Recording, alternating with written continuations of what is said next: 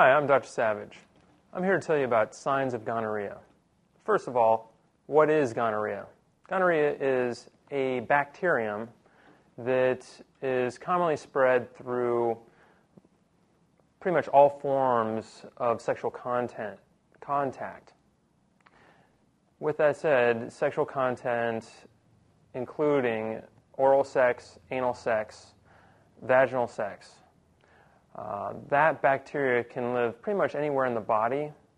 And uh, as you can imagine, when that infection takes place, you know, what can happen in these areas.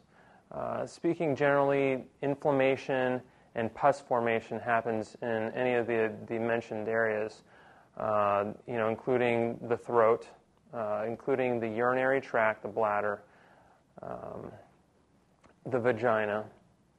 You can have what's referred to as cervicitis, and where the cervix becomes inflamed and infected because of the bacteria.